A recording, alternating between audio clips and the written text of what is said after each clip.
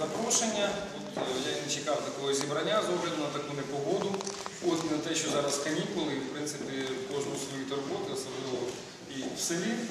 От е, доброго дня, шановні мешканці благодатного Словачанського краю. Я завжди з задоволенням сюди приїжджаю, тому що е, зрештою ну, те, чим я займаюся, воно дуже багато в чому відноситься саме до цього регіону.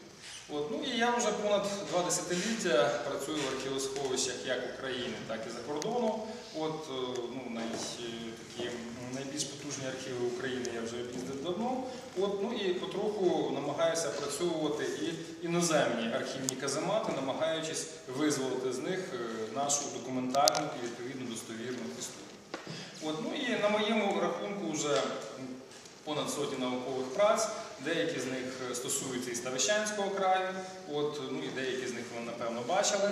От, е, ну і відповідно, ви знаєте, що е, зараз книги писати вже не можна. Так? Зараз більше читають інтернет, от електронні джерела, електронні ресурси, і живу паперову книгу до рук беруть, на жаль, не так часто. От, і якщо колись, коли я був студентом, двічник міг переплутати Гоголя з Гегелем, то тепер Гоголя плутають тільки з Гуглом, з Гегелем вже не плутають. От, якщо вірити тому ж інтернету, от, то е, відповідно середньостатичний англієць читає в рік 7-8 книг. Наш сусід білорус 4,5. Ну а у нас в Україні позаминулого року на душу населення не випустили на превеликий жаль жодної книги. Ну, але нас, як завжди, виручає Африка. Серед досліджених народів найменше читають бедуїни. Не 2,5 книжки, а 2,5 сторінки. Тому давайте берегти бедуїнів, тому що якщо з ними щось трапиться, то останніх верблюдів будемо пасти ми з вами.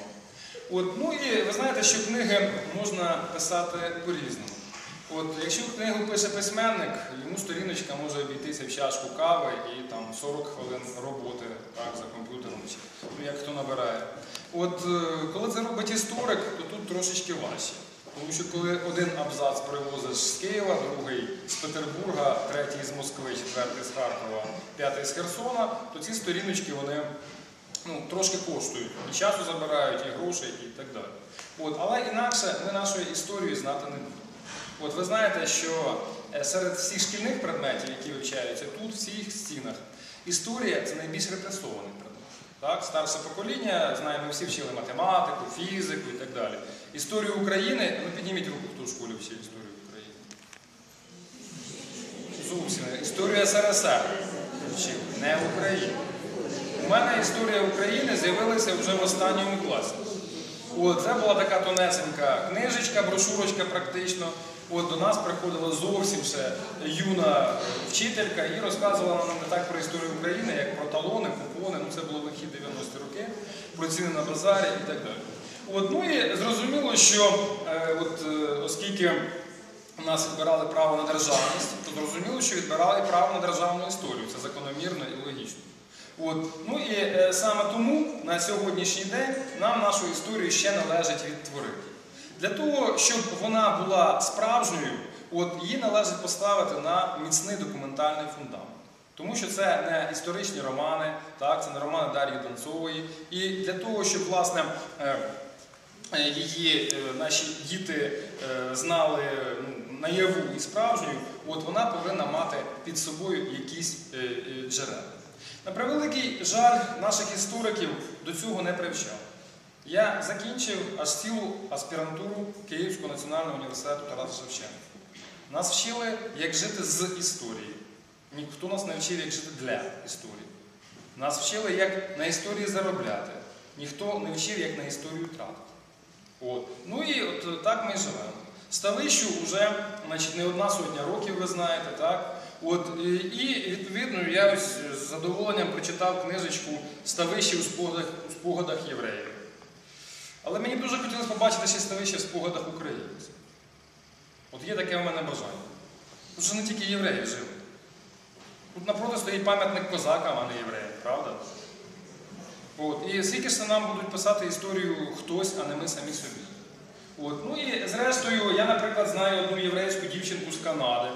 Е, Вона також кандидат історичних наук, літає літаком сюди, в неї двоє маленьких дітей, ще зовсім молода вона. От місяцями працює в наших архівах. Випустила книгу по історії конфесійних стосунків на Київщині 19 століття. Історики Київщини чомусь таким ну, не сильно, скажімо так, переймаються. От, ну і, е, значить, е, біда не тільки в тому, що, як казав Шевченко, німець нам історію нашу нам розкаже, так? Пам'ятаєте цей віршик його. От, е, але ще й в тому, що часто, оскільки не беруться за це часом історики, це не їхня вина, це їхня біда. Що нас цьому не вчить. Розумієте, я нікого ні не звинувачую, попробуйте мене зрозуміти. От, скажімо, дивіться, ви ніколи не побачите фізика, хіміка, біолога, який би ніколи не ставив дослідів. Правда? Немає математика, який би не розв'язував задачі. От, немає літератора, який би не працював з першоджерелами. Тобто кожен з них, хоч ну, якийсь час в житті практик. Він не тільки живе з, з цієї дисципліни, так? він щось для неї робить. А от історика, який би от, власне, працював з першоджерелами і проводив досліди і дослідження, от трошки важче побачити. На превеликий жаль. Це радянська система. Тут нікого не можна звинувачувати. От, ну і оскільки, власне, значить, е, тому що ну, радянській владі не повинен, не потрібен був історик-дослідник.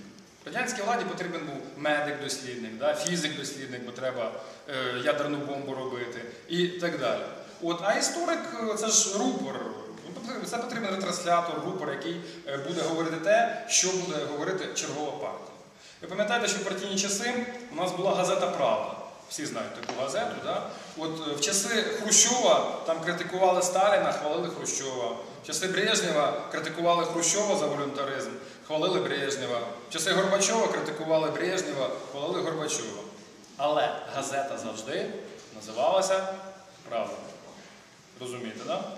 От, ну і от, е, власне, історик він потрібен як рупор, як ретранслятор. На превеликий жаль, істориків-дослідників у нас ще й зараз практично майже не готують. Тільки пару аспірантур цим займаються.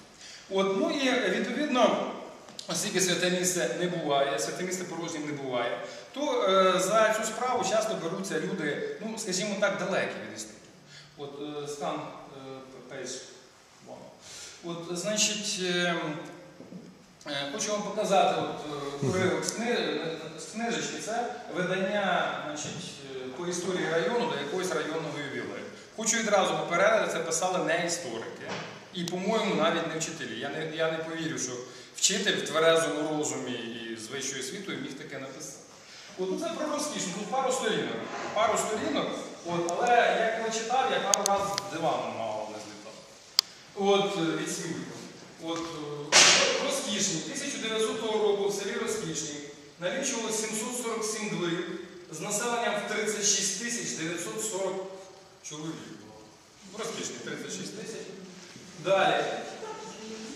З них 1900 жінок, 1967 чоловіків.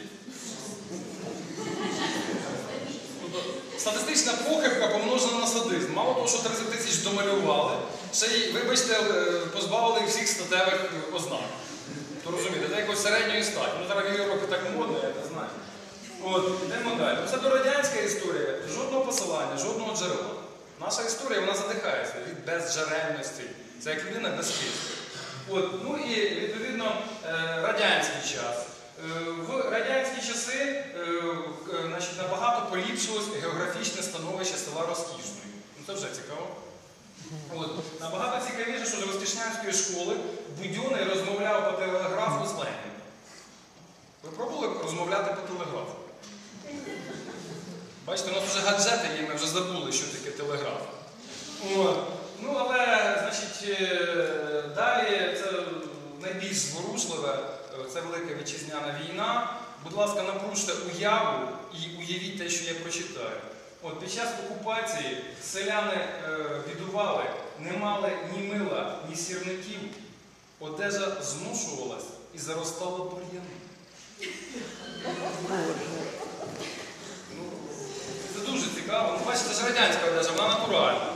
Поносив ляну сорочку, дощ пішов, бур'ян піднявся. Береш сапку, сапаєш сорочку. А в кого немає сапки, хто в місті живе, той руками. От. Ну і е, це наша біда, розумієте? Це наша біда, коли е, от, е, пироги печет сапожник, а сапоги точають пірожник. От. Ну і відповідно, ви знаєте, що тут вибір дуже не широкий. Історія, справжня історія, виховує патріота. Вибачте, маразми виховують маразматики. Давайте подумаємо, ким ми хочемо бачити наших нащадків. А у нас цих уявних речей їх дуже багато. От я от, е, йду так на розкішну.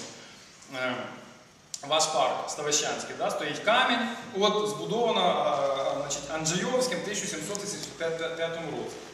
В 1775 році він дитиною ще був. Це дуже відома людина. Це е, професор Київського імператорського університету, він там викладав історію природи так далі і тому подібне. І зараз цю табличку будуть міняти. Я розмовляв з Оленою Олексійною Берідзе, вона каже, ми все знаємо, будемо міняти. От, е, в розкішній підходжу до школи, розкішний же цей корпус історичний, я дуже люблю там бувати, від нього просто дихає історією. От е, в Мармурі е, школа збудована в 1896 році на кошти земства і графині Браницької. Ну, земств в 1896 році ще не було на правобережжі. На лівому березі вони були. На правому вони з'явилися вже на початку 11, на початку 20 століття. Зараз це є вже в тестах ЗНО. Розумієте? Сьогодні діти вже будуть сміятися. Ну, Віктор Іванович, дуже шановний історик, він розумний, адекватний, я його давно добре знаю. Заходжу, питаю, що ж це ви робите? Ну так е, я знаю, що це маразм. Зараз це вже діти знають, бо в ЗНО воно є. Але ми отак от звикли, і не я його чіпляю, і ми отак от звикли. Ми звикли до маразму. Ну я не знаю, так давайте не звикати. Давайте з цим боротися. От. Нинішня е, сучасна українська школа, якої нас вимагає, вона вимагає якоїсь е, значить, проектності, якогось дослідження, щоб ми не просто вчили дітей відтворювати те, що вони прочитали, а вчили їх творити, бути творцями, зацікавленими особистостями, із е, якоюсь активною позицією в цьому світі. От, ну і зрештою, е, знову ж таки, для цього потрібно е, вміння і працювати з джерелами, і хрестоматії, і так далі, і публікації, і тому. Йдемо далі слайд-шоу. Е, ну, е, першою моєю наукою, ви вже вибачаєте за такі емоції, ну просто коли таке читаєш, знаєте, ну просто боляче робиться. Е, значить, я е, починаю свою наукову діяльність з історії церкви. От ми зараз люди вже переважно радянські, так, ми отримали атеїстичне виховання, я його отримав. От, я живу в місті Біла церква. Назва церковна релігійна, так? Біла церква. Але місто абсолютно не релігійне, не церковне. Середній білоцерківець забіжить туди до церкви на Пасху, посвятить собі ковбаску. Випустили дуже великим тиражем, видавництво ризикувало, тому що вона дорога, там і з кольоровими, там вклейками всякими і так далі, і тому подібне, на гарному папері. От е, це були якраз часи чергової кризи, у нас вже 25 років кризи. От, то, відповідно, у даному випадку от, видавництво ризикувало, але воно виграло. От тираж майже розійшовся. На сьогоднішній день, от, скажімо, на багатьох сайтах вже написано е, тираж вичерпано. Ну, правда, в білій церкві ще трошки є. От на сьогоднішній день це вже навіть не бібліографічна рідкість, це бібліографічна неможливість, можна сказати. От, е, ну, але серед Браницьких, ви знаєте, це велика родина, і це дуже і дуже різні люди. Перші браницькі власники ставищ це чоловік і дружина Ксаверій Франфішек і Олександра Василівна Браницька. Це люди антиподи. Так? Ну, ви знаєте, антиподи часто притягуються. Так?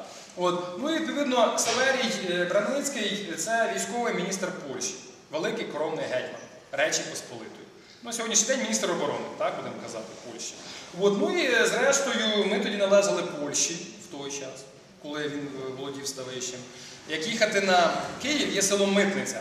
Зауважували? От е, якраз там та митниця стояла. Це був російсько-польський кордон. На північ від неї, тобто Київ і там Гливахи і так далі, це була Російська імперія. На південь це була Польща. Тобто Біла церква, Ставичі це була польська територія. От, ну відповідно, оскільки він був міністром оборони, то зрозуміло, що всякі військові катаклізми вирішував він.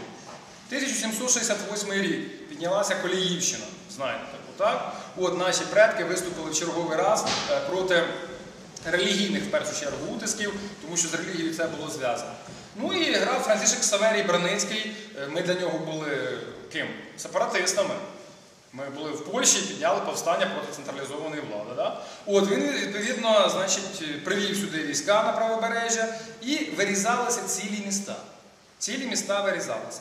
Е, Чому саме міста? Е, Селян поляки просто кріпачили, а міщан зробити це було важко. Міщанин це вільна людина, він на панщину не піде, його не заставиш, він не кріпак.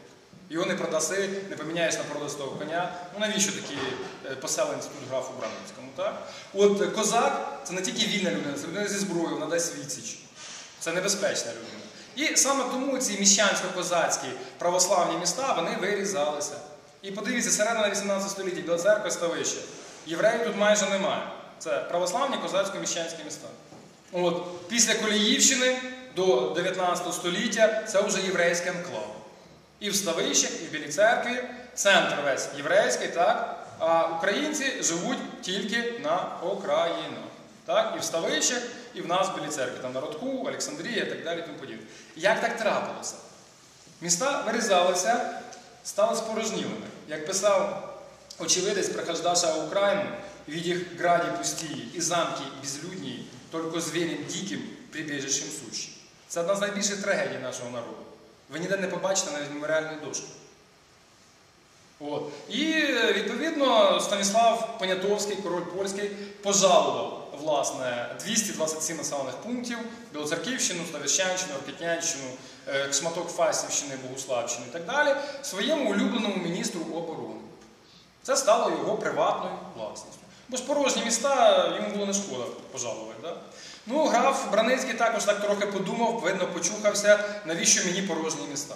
І він став укладати угоди з єврейськими кагалами Речі Посполитої. І сюди десятками тисяч стали переселятися євреї. Остання угода вже в часи Російської імперії, 1806 рік. Остання угода.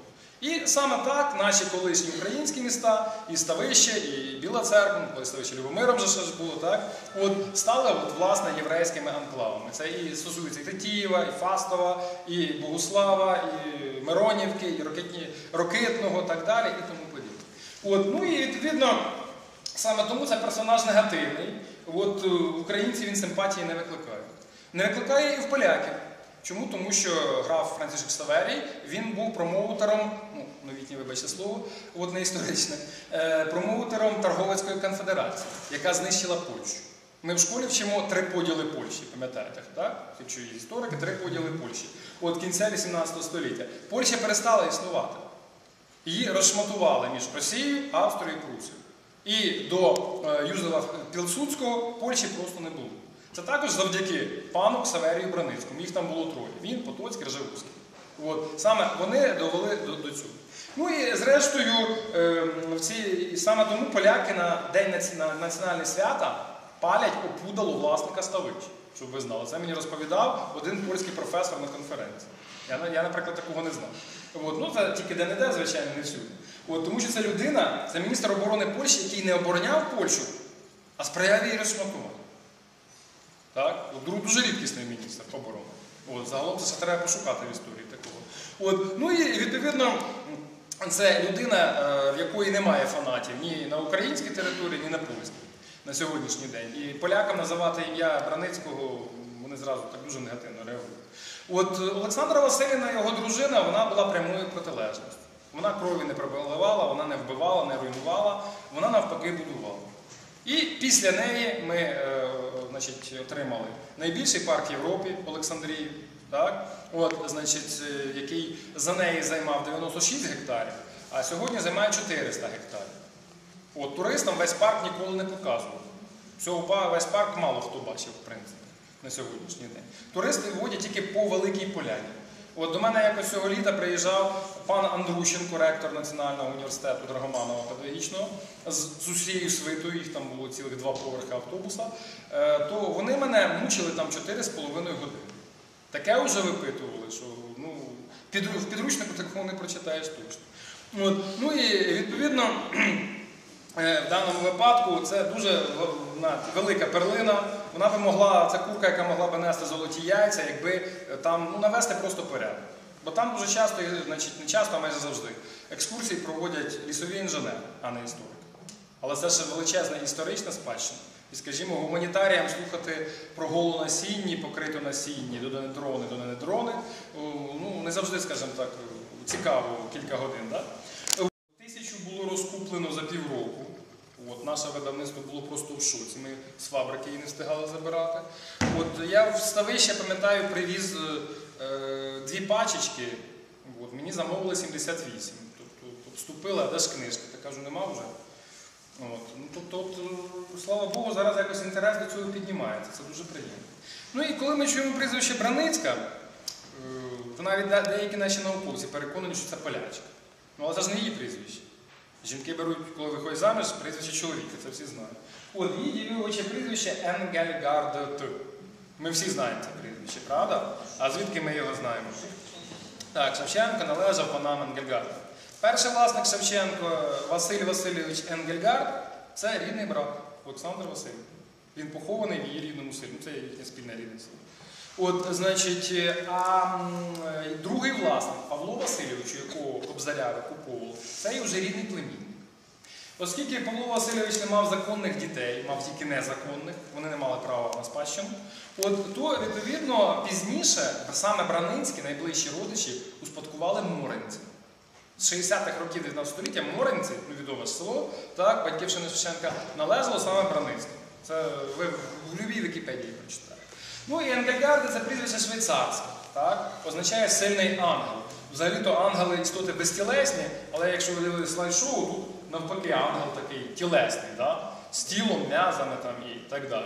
От, е, колись під час другого хрестового походу, е, значить, е, французького короля Філіпа Августа врятував від вірної смерті один швейцарський воїн-піхотинець. От, ну і Філіп, щоб віддячити іноземцеві, от, надав йому дворянський титул і герб Енгельгард, сильний ангел. От Енгельгарди були багатодітними, по 8, 9, 11 дітей мали, швидко розмножилися, і батько і три сини вже в 16 столітті потрапили в полон до Яна Грозного, першого російського царя. Він ними населив Смоленщину. Ну і зрештою саме так там з'явилася зіркова родина Енгельгарда. Серед них були і міністри. Один з найвідоміших е, астрономів Російської, імперії був Енгельгард. От його іменно названо обсерваторію, от, і його дуже добре там знають. От зірку названо навіть його прізвищем. От, ну і серед них були і полководці, і генерали. Е, Хто добре знає е, зарубіжну літературу, коли Пушкін закінчував царсько-сельський ліцей, то директором його був також НГГ, також представник цього роду. Ну і відповідно саме до цього роду належала і Олександра Васильівна. Вона народилася в крихітному сільці Чижево на Смоленщині. Це Духівщинський повіт Смоленської губернії. До речі, завдяки Віктору Хименку я зміг передати туди книги в Духівщину. От і вони зараз там є у краєзнавчому музеї на батьківщини Олександри Васильівни. Там таких досліджень не проводили. От, хоч по Енгельгардам там пишуть книги. От я читав дещо, але ну, вони поняття не мають, скажімо, про тих енгельгардів, які жили в Україні. Ну тільки свої пишуть. От, ну і відповідно, от, е, це- село, в цьому селі я також був, воно вже вимерло практично. Там зараз живе 6 людей і 10 собак. Все. Поля там поросли не бур'яном, а підліском. От уже, значить, там вже особливо родити нічого не буде. Йдемо далі. От, ну і відповідно в цьому ж селі Чижево народилася ще одна відома особа і в нашій і в російській історії е, князь е, значить, е, майбутній Таврійський. Так? От, е, він був рідним дядьком Олександра Василівна майбутньої Браницької. Мама Браницької це рідна сестра Потьомкіна. Тобто це улюблена племінниця, рідна племінниця. От, ну і відповідно, е, оскільки він був фаворитом Катерини II і її вінчаним чоловіком, на сьогодні це вже доведено, от описано навіть процедуру вінчання і так далі, то відповідно. Він зробив все можливе і неможливе, щоб його улюблена племінниця пройшла складний шлях від камер Фрейліни до обергофмейстери.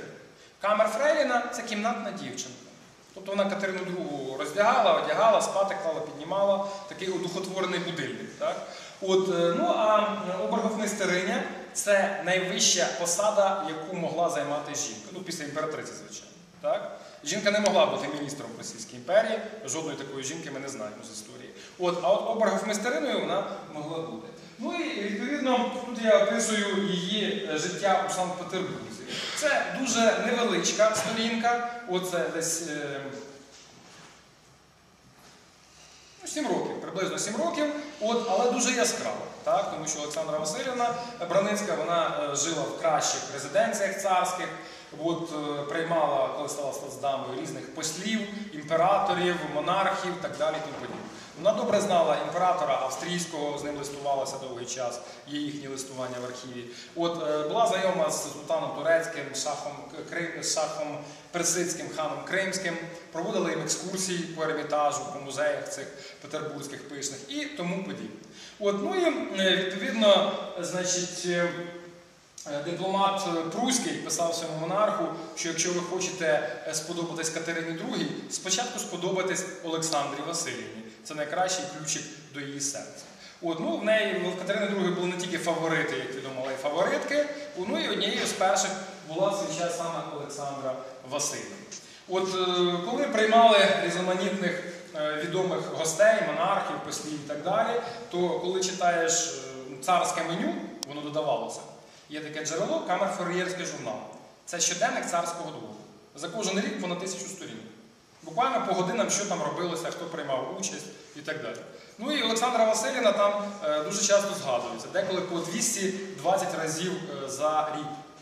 І українки там дуже багато. Там і Безбородько, і Кочубеї, так, і Розумовський, і так далі. Тому подібне. Історію України по них можна вивчати.